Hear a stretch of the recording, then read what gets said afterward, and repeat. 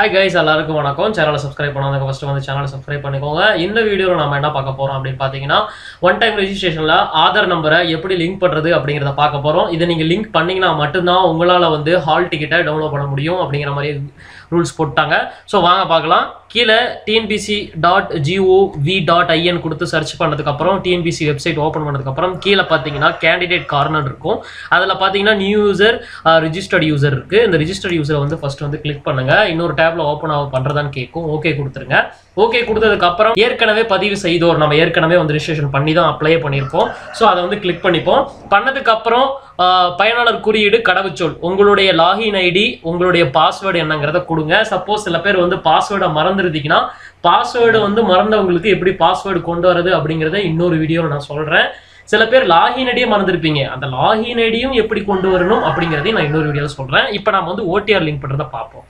So அதில் login ID password கொடுத்ததுக்கப்புறம் இந்த ஆன்சர் இந்த நான் கொடுத்துருக்கிற இருபத்தொன்று ப்ளஸ் நாலு இருபத்தஞ்சு ஆட் பண்ணி போட்டு சமர்ப்பி அதை வந்து சமர்ப்பி லாகின் கொடுத்துட்டீங்கன்னா பாருங்க உள்ள ஓப்பன் பண்ண உடனே இந்த மாதிரி ரெட் கலர் பாக்ஸ் வரும். தங்களிடம் இந்திய தனித்துவ அடையாள ஆணையம் வழங்கிய ஆதார் அட்டை உள்ளதான் அப்படின்னு சொல்லி கேட்கும். அதாவது கனெக்ட் பண்ணாதவங்களுக்கு நான் இன்னும் கனெக்ட் பண்ணல அதனால இந்த ஆப்ஷன் வந்திருக்கு. ஸோ நீங்கள் என்ன பண்ணால் கிளிக் பண்ணி இருக்கு எல்லாத்துக்கும்.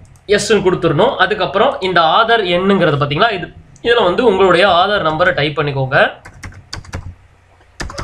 டைப் பண்ணிக்கிட்டு.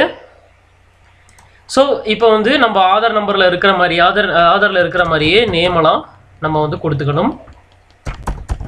அதில் எந்த ஒரு மிஸ்மேட்சும் ஆகக்கூடாது.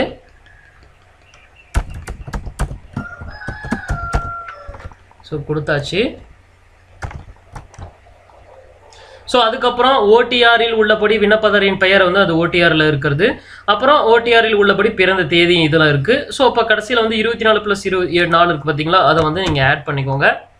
ஆட் பண்ணிக்கிட்டு ஒப்புதல் சான்று அதுக்கு வந்து ஓகே கொடுத்துட்டு கடைசியில் வந்து செண்டு ஓடிபி கேட்கும்.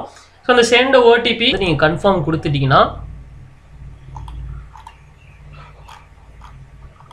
இங்கே வந்து இந்த மாதிரி ஐ ஹாவ் ரீட் த பாயிண்ட்ஸ்னு வரும். அதையும் கிளிக் பண்ணிக்கோங்க.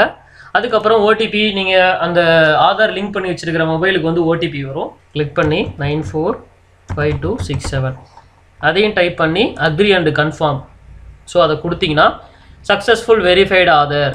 ஸோ ஒரு வெரிஃபை ஆயிரும். உங்களுக்கு ஓகே முடிஞ்சுச்சு ஸோ இதுக்கப்புறம் நீங்கள் போய் இந்த ஹார்ட் டிக்கெட் பாருங்கள் இதுலேயே இருக்குது profile current application application history document upload download hall ticket so இந்த டவுன்லோடு ஹால் டிக்கெட்டில் போயிட்டு நீங்கள் குரூப் ஒன்றுக்கு உண்டானதை வந்து நீங்கள் டவுன்லோட் பண்ணிக்கலாம். அது அடுத்த ப்ராசஸ் சரிங்களா? வீடியோ பார்த்தது மட்டும் இல்லாமல் லைக் அண்ட் சப்ஸ்கிரைப் பண்ணுங்கள்